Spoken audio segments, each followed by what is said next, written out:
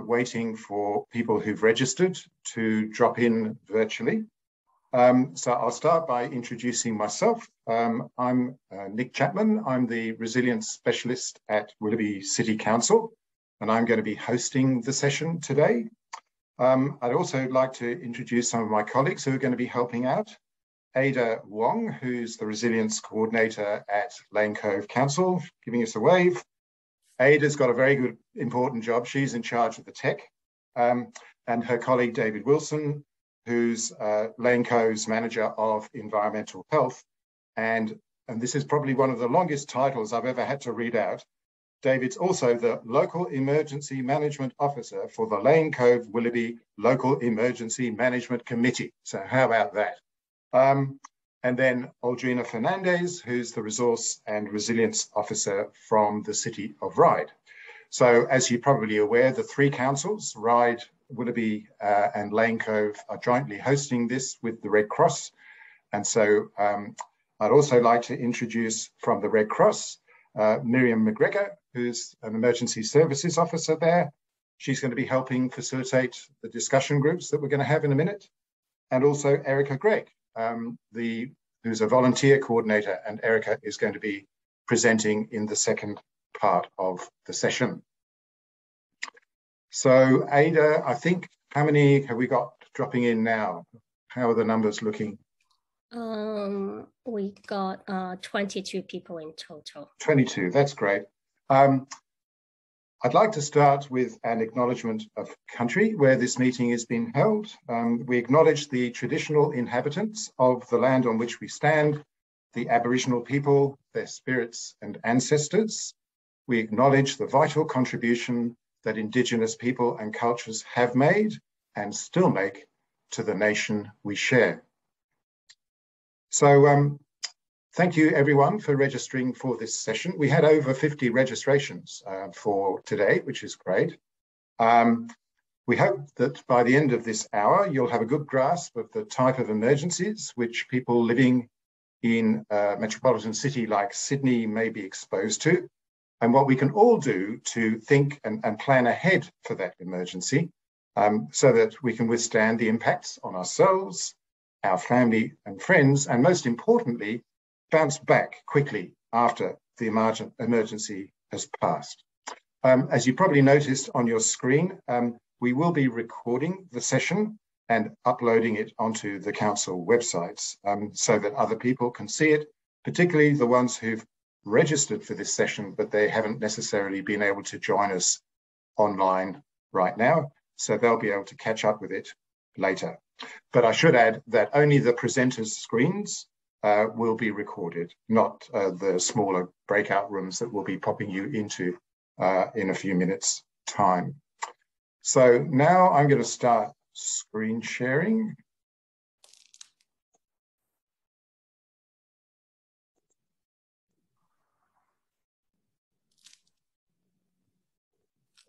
So can everybody see that? Ada, can you see that? Yeah, good.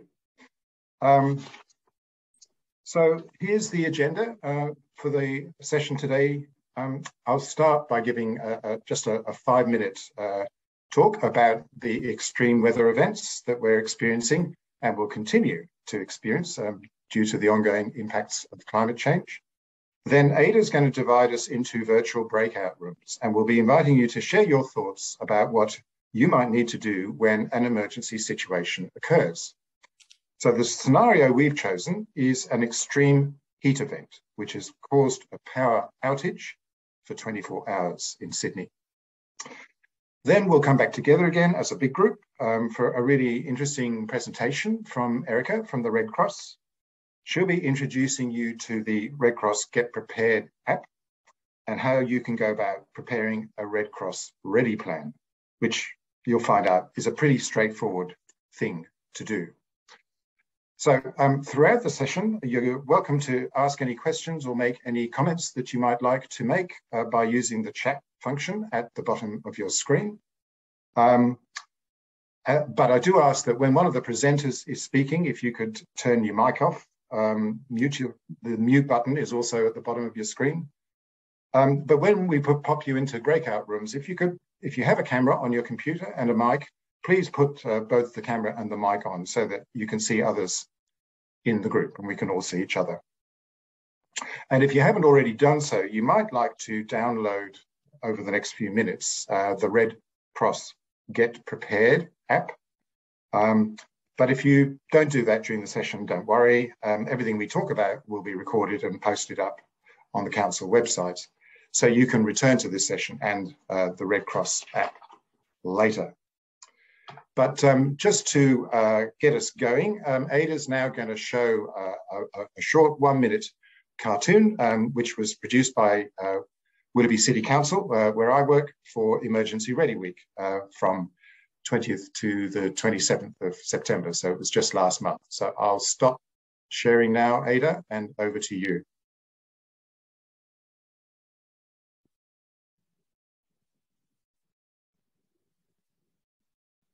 Emergencies can put people at risk. We all need to be prepared for storms and floods, fires in buildings, as well as bushfires, extremely hot weather, health emergency, and pandemic. Be prepared by making sure you know what the risks are. Download the Get Prepared app by the Australian Red Cross. Talk to your family and community, and in particular, check in on people who may be vulnerable, such as the elderly and people living with a disability. Prepare an emergency plan and visit the Resilient Willoughby website. Be prepared and stay safe.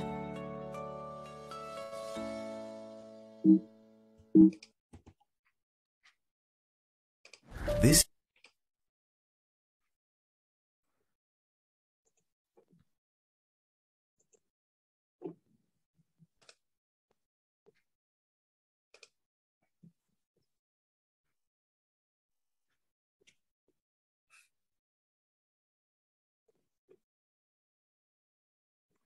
Okay, um, so thanks for showing us that cartoon, Ada. And as you can see, it pretty much sums up what uh, we're going to be going through uh, during today's session. I'm assuming that people can see the PowerPoint again now. The screen sharing's okay. Great, thanks guys. So um, we've had a pretty challenging time in New South Wales in the last 18 months. Um, it was only February last year, we were still in the grip of the worst drought experienced in Australia in over a century. And we were reeling from uh, the terrible Black Summer bushfires, uh, which destroyed 5 million hectares of bush in New South Wales alone and had a terrible impact on wildlife, um, which is going to be felt for many years um, to come. Um, I'm sure you'll remember, for those of you who were in Sydney at that time, the really disturbingly thick and at times quite acrid uh, bushfire smoke that blanketed Sydney at various times between November 2019 and January 2020. And, and that meant that on some days we had the worst air quality in the world by a long shot. Um, December 2019 was actually the hottest December ever recorded here in Australia. And uh, things really tipped over on the 17th of December when it hit 41 degrees right across the country. Then in late February uh, last year, it all changed. And we had torrential rain, a, a one in 30 year rain event, in fact, um, which broke the drought in many parts of uh, New South Wales, which is obviously a good thing, but is a bad thing because it caused major flooding and storm damage in places. Uh, so we, you may recall, we had another one in 30 year rain event just six months ago, which caused very uh, disruptive flooding in uh, various coastal parts of New South Wales. And you know, on our TV screens every night for over a week, there were the horrible pictures of the lower Hawkesbury Basin uh, flooded out. So that's two one in 30 year rain events in 15 months. So I think the planet is telling us something.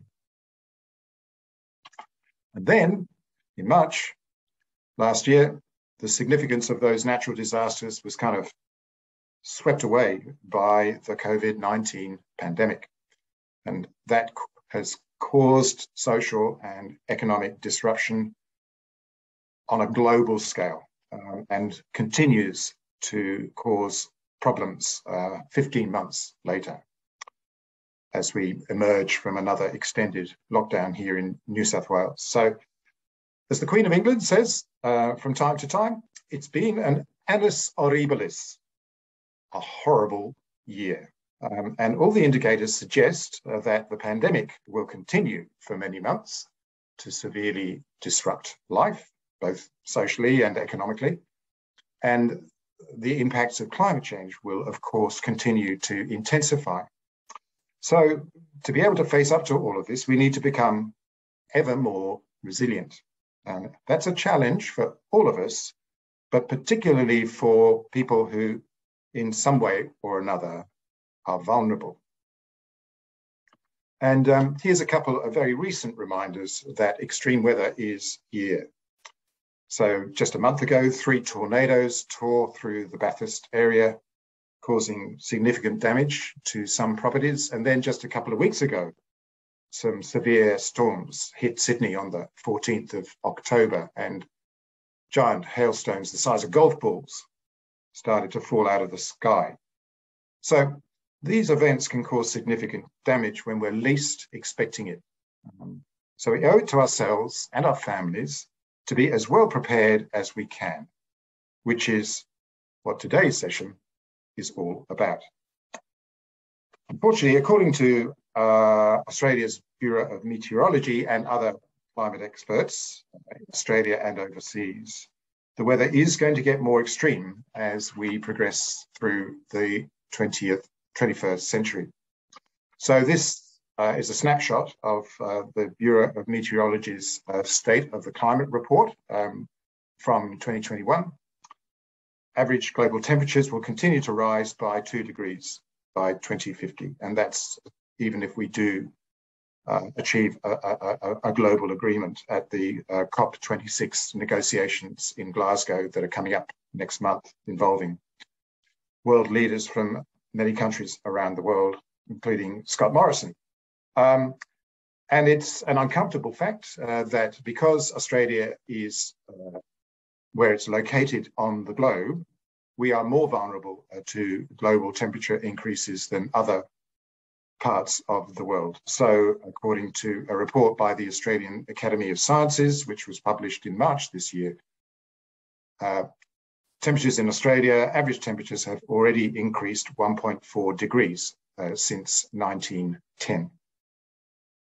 So this means that the number of hot and very hot days is expected to double, uh, more than double in the next 30 years. Um, sea level rises will continue.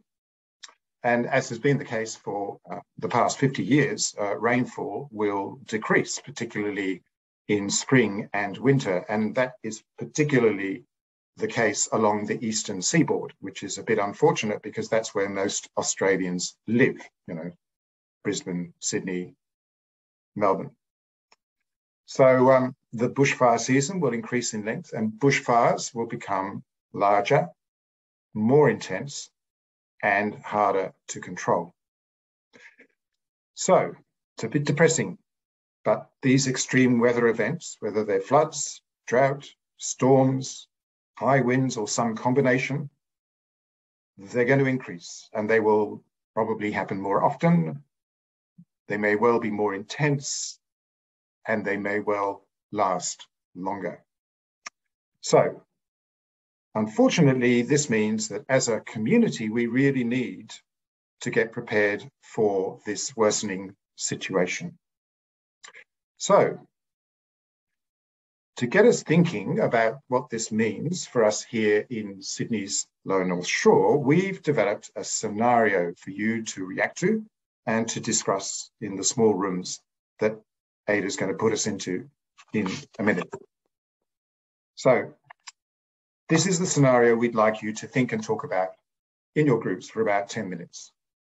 It's early February and the Sydney region has just experienced five consecutive days with maximum temperatures of over 40 degrees. in the western suburbs, it's hit 44 degrees.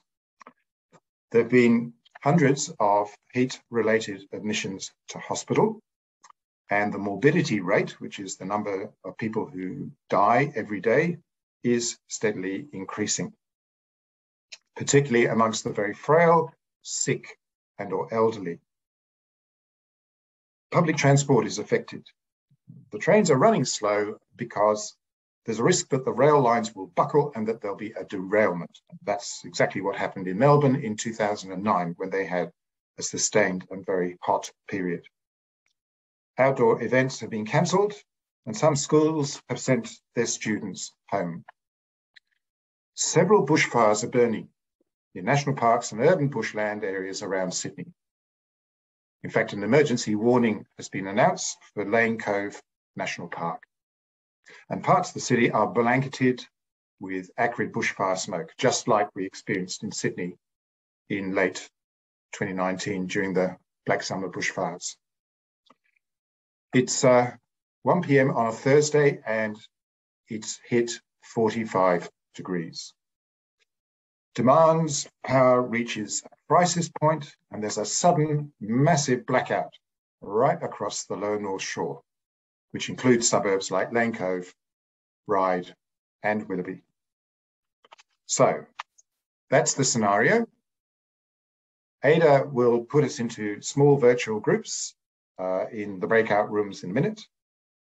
Um, that's going to be done randomly. So you don't have to choose a room. You just get a message which pops up on your screen and you just press join.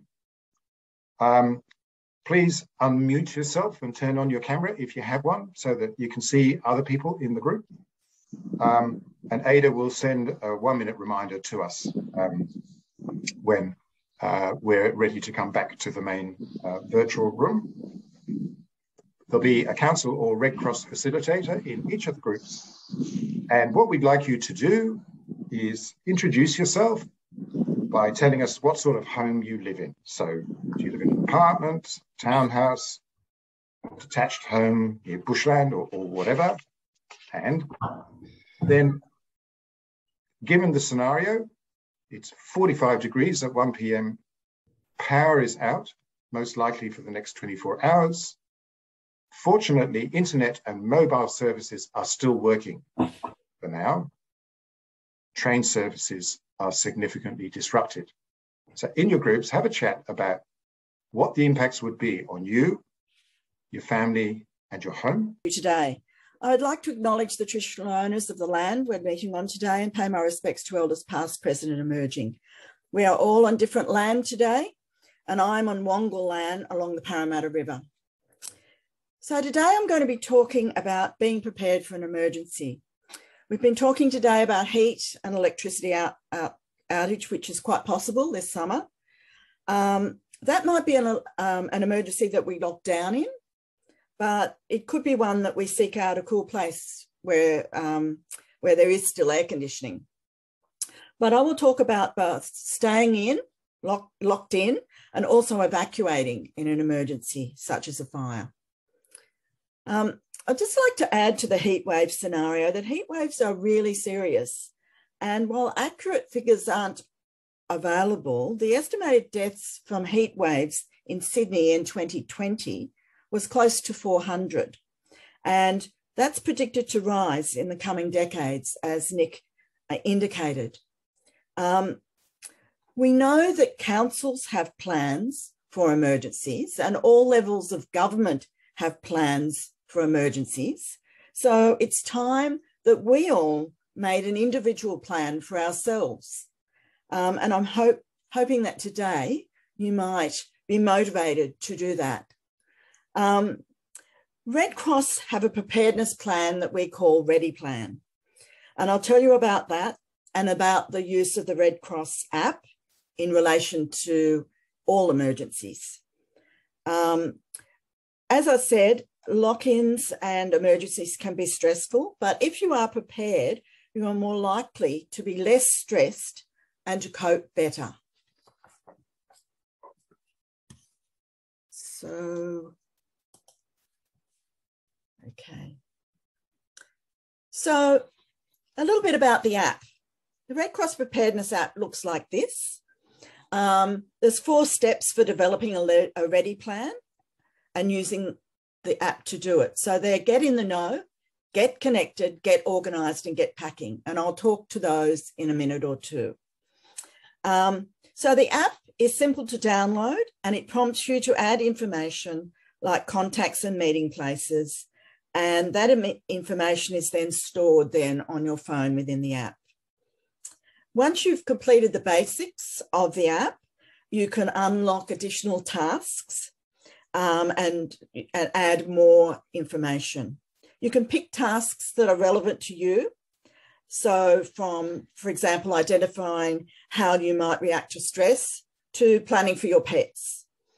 Each task provides you with further information and links to relevant resources. You can place notes in the app um, you can complete checklists, create reminders and mark items as complete when done.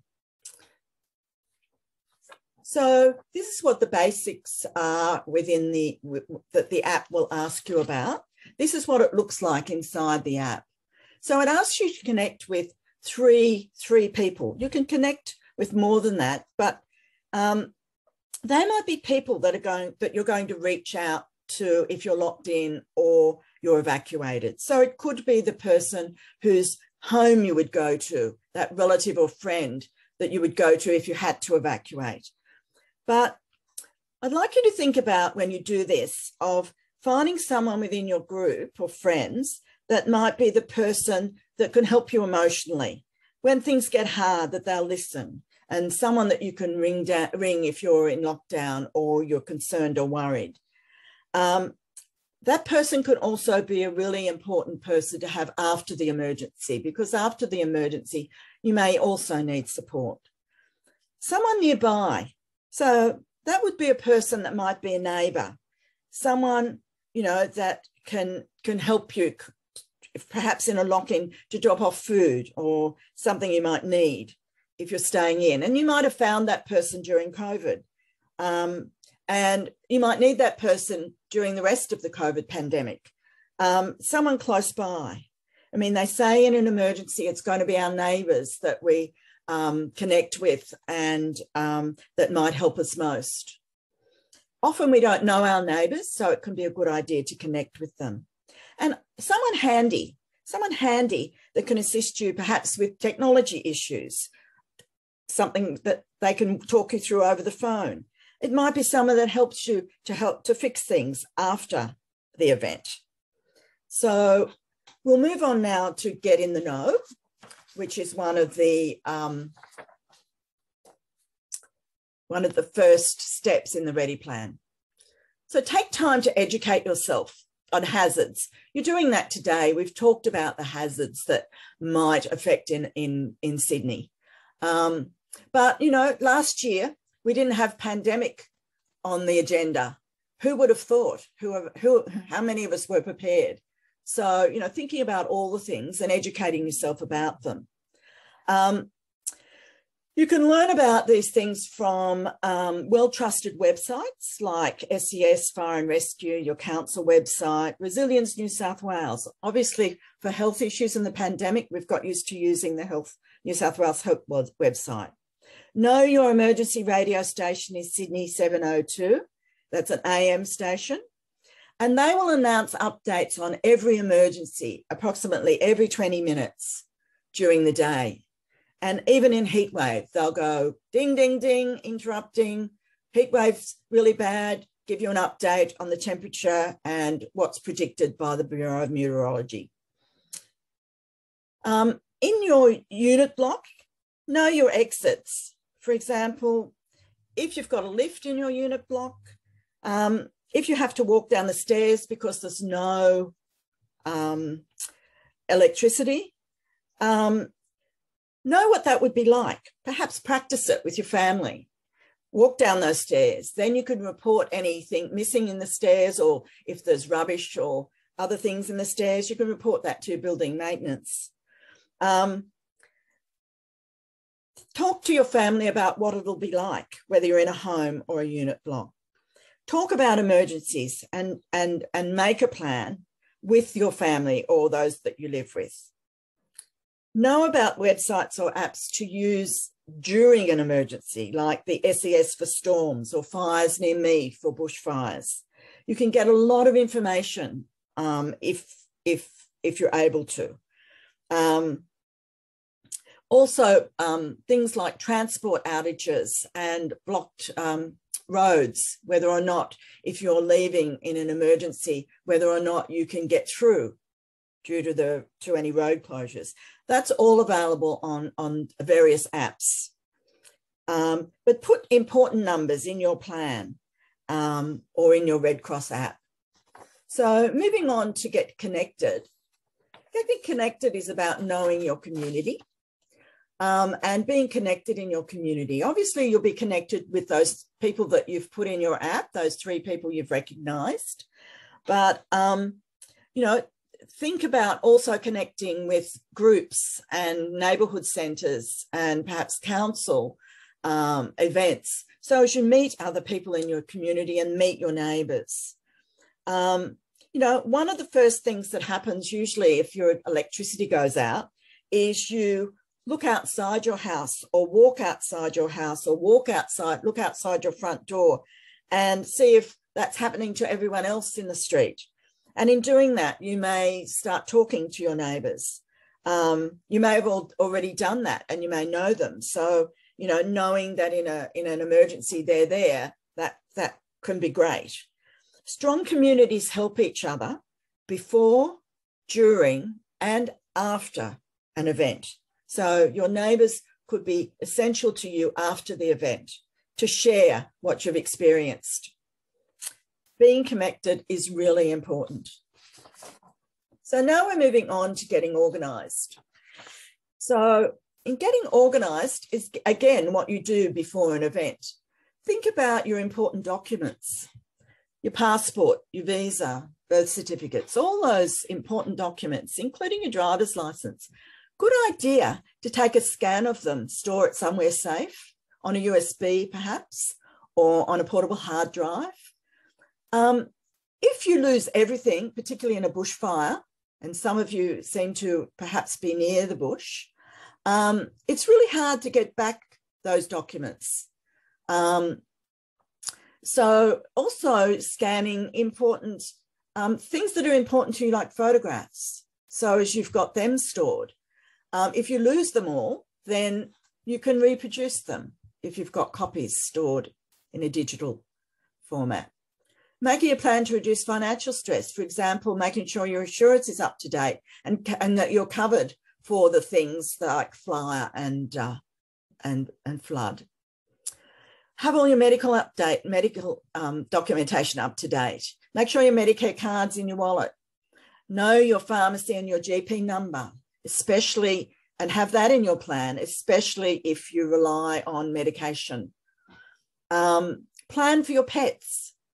Uh, each pet should have its own plan and make sure you have medica- medications, food, toys, anything that it needs um, ready to go. Know your plan. Where will you go? What will you take? Write it down. Have it in your phone, on your app. Have it on a hard drive put you you decide what is best for you. Some people need to write things down rather than have apps. But you know the app can prompt you for what you might write down.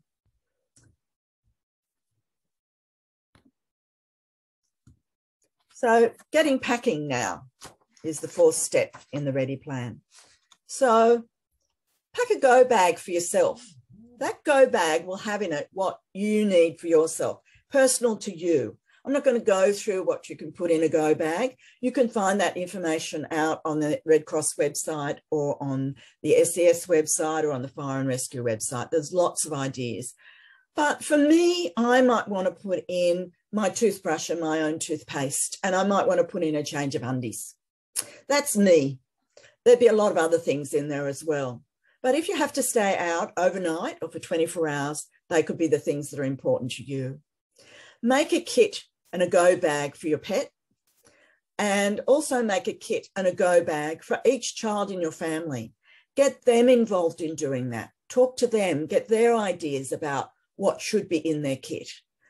Um, you can also pack um, a larger box, but it depends where you where you live and and what whether or not you might be able to get that out of the house in the time involved. But it can be a good idea um, if you have to evacuate to already have some some things in, in a box or a list.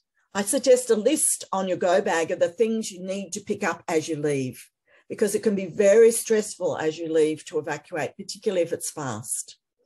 So, you know, having a list of the things that you might add, and I'll go through that in a minute, what they might be.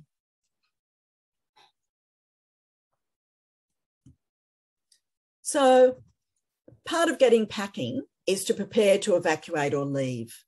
So, some of the things that might, might be on that list that you have to put in at the last minute would be your phone charger, things like medication, your wallet, your glasses.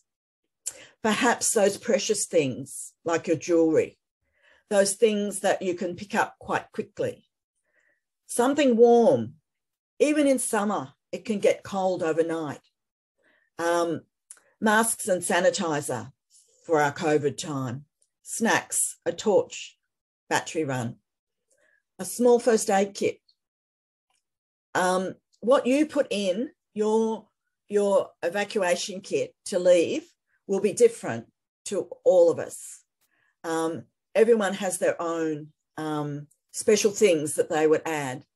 And as I said before, you can get those lists from the various websites. Um, what I'd like to say is if you're organised and you have a go bag, go bag packed, that preparation might help relieve your stress. A lot of people tell me, have told me over the years that, you know, they ran around in the house like a chook with a head, its head cut off, picking up things that afterwards they didn't really need um, and forgot the things that they really needed and are really upset with themselves for that.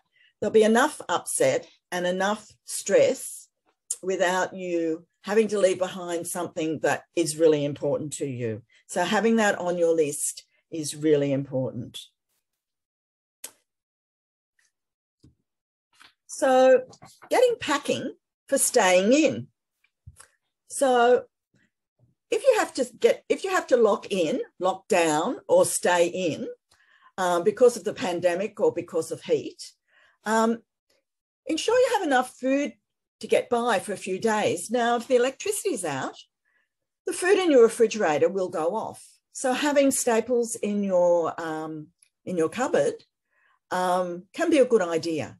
And to you know buy those things gradually um, and have them have them is a good idea. Maybe you've got camping equipment and you can cook, but if you haven't got gas and you haven't got camping equipment, you may be only able to you may not be able to cook. Also, I'd like to say there in terms of food, you know, as well as those staples, you know, have some comfort food or some food that might keep you happy, you know, if particularly if you've got children. Um, you even you yourself, maybe maybe you're a chocolate freak or a cheese freak or a crisp, you know, crisp freak, whatever it is, have some of those in the cupboard as well. You know, don't just leave it to the basics. Um, remember everyone in your household, including the babies, the children, the pets. And if it's a heat wave, plenty of cold water and ice blocks. Ice blocks, you know, if the if the fridge goes off, you can eat the ice blocks still. They'll keep for a little while. Um, but it's really important um, during uh, staying in for heat wave to eat cold things because it will help keep you cool. Um, staying in, you know, having you know, keeping over some of those um, Netflix or binge or Stan or whatever you subscribe to during COVID, keeping them on in case there is a heat wave and you do have electricity, but also uh, some books or board games or activities for the children. You know, things like a fan for um, a fan for personal use, like um, a small personal fan that's battery run, or a radio that runs on batteries so you can tune into 702 a torch, and spare batteries. You know, spare batteries is a really good idea. Um, and also, it's important to think about replacing things in your kit, like batteries. And I'd just like to suggest that um, on the October long weekend, when we go on to, we, we put our clocks adjust for daylight saving, also check your smoke alarms, which is what the fire and rescue will tell you to do, but also your go bag and your evacuation kits and replace those batteries and replace any food in them um, so as you keep them fresh and up to date. So just back to heat wave, I think we've covered today most of the things to do in a heat wave. Um, stay indoors in the middle of the day when it's the hottest, minimize your physical activity, avoid alcohol, um, take those cool showers or baths, keep the curtains shut. Um, or if you're in a particular hot place and there is a place you can go that might be air conditioned because it has um, has that capacity, perhaps go out in the middle of the day. Um, so the next um, is prepare your mind. How Red Cross's plan is different to the other plans, it, you know, the other plans that other organisations have, is we ask you to prepare your mind. Anticipate that it's going to be stressful. Identify your feelings and thoughts, how you cope with stress. Manage by being calm, doing some breathing and self talk. So when you get that knock on the door from SES or the police or whoever it is that asks you to evacuate, take a few deep breaths because the stress is just going to come on you. And don't run around like a chook with its head cut off. Go straight to your list and look at what you have to pick up and say to the person knocking on your door, I just need to pick up my go bag and my wallet and or my handbag or whatever it is you need to pick up. And take some deep breaths and say to yourself, I can do that. Um, so I need to move on a little more quickly now because we're running short of time.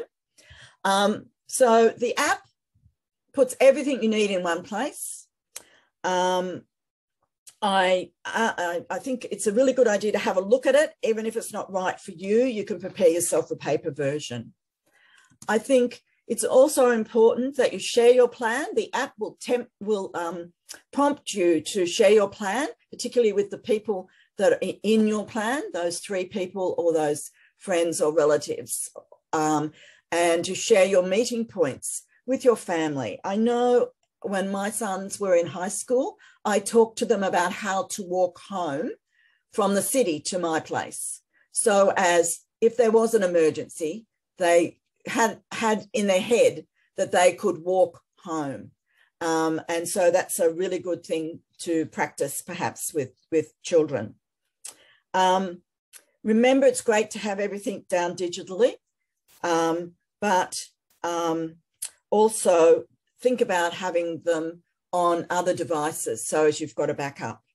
Now, what I want to assure you is that with the, with the app, if the electricity's out and the phones are out, you will still have the app on your phone with all the information on it about, about what your plan was. So even though you can't make calls you, or you can't get on the internet, if your phone is charged, you'll be able to remind yourself of, of what you might need to do or what you might need to take.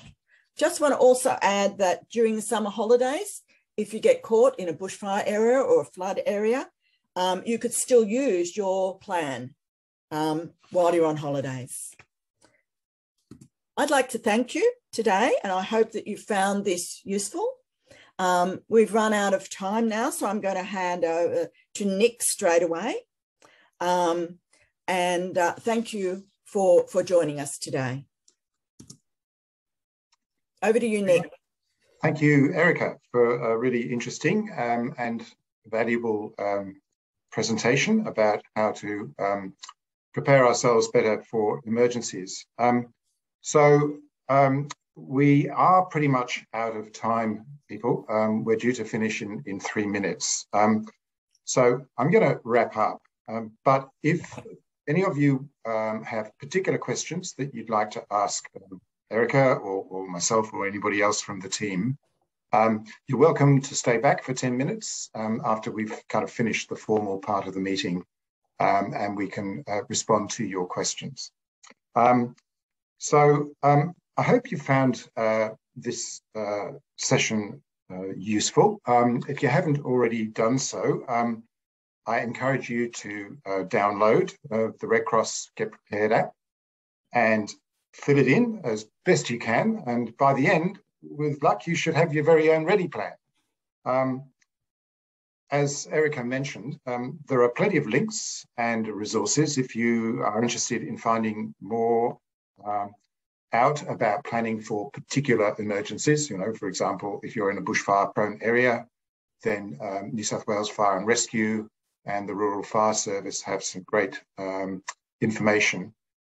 But we're all of us kind of buried in information. So what we've got up on the screen uh, for you now is the links uh, to the three councils and council websites um, are very useful kind of repositories for all sorts of information.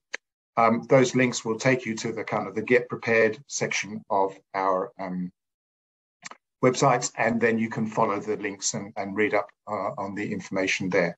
And then, of course, uh, at the top of that slide, um, you've got the link to the Australian um, Red Cross uh, Get Prepared part of their website. Um, so we'd really appreciate it if you could uh, take five minutes to fill out our feedback survey that Aldrina has just um, posted up in the chat. Um, feedback from attendees like yourselves um, is really helpful for us council people and the Red Cross when we're planning future um, online or face-to-face -face sessions um, like this. Um, and if you have found it uh, uh, an interesting and, and worthwhile session, uh, we do actually have another one coming up uh, next Wednesday in the evening, uh, 6 till 7 p.m. It'll be exactly the same as the format that we've had today. So uh, you might want to let your family or friends know and they may be interested in joining us for that session. Um, registrations are still open for that. Um, so that's pretty much it from us. Um, I'd like to thank um, Red Cross, uh, particularly uh, Erica for her presentation and, and Miriam for facilitating um, the group discussion. And also thank you to the council facilitators, Ada for running the tech, um, Aldrina and David for helping out um, with the breakout rooms. And uh, a big thank you for all of you who have joined us um, today for uh, taking part in the breakout room discussions, which I think could have carried on for quite a few more minutes. Um, I hope you've enjoyed it. And um, those of you who don't have any questions, please feel free to, to log off now and have a good day.